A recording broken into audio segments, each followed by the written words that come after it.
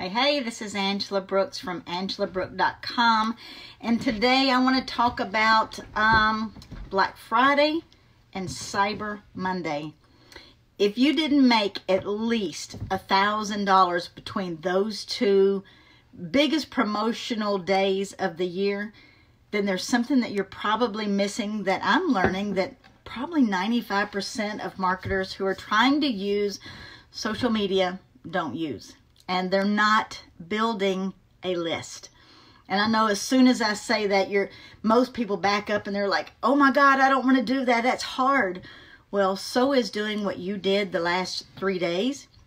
If you don't have a list of people that you can send out emails to and be in touch with with a click of a button, you're working way too hard.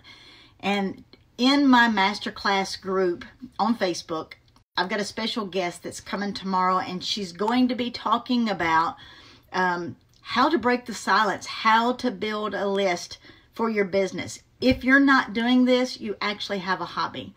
And I know that's kind of like in your face, but it's true.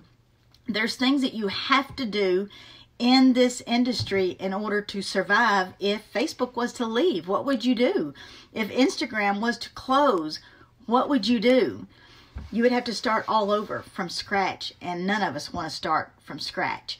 Um, some of the things that she's going to talk about is number one is consistency. Most people don't do marketing consistently, so they find that it's a struggle.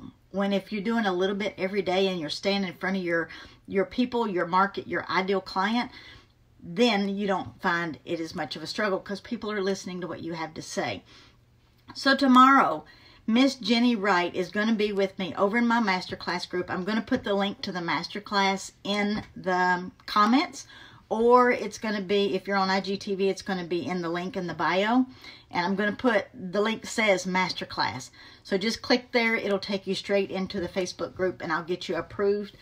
Um, it's going to ask you two simple questions. If you can't answer two simple questions, you can't get in the group. It's just that easy. Too simple. Too simple. Um, but listing list building 2.0 was something that it's slow getting started until you learn how to get the momentum going to where you can add 30 to 50 people a day to your email list and it will grow with you as you grow. Once you learn these concepts, they're rinse and repeat. You can do them over and over again. And most people don't take the time to learn this basic step from the beginning.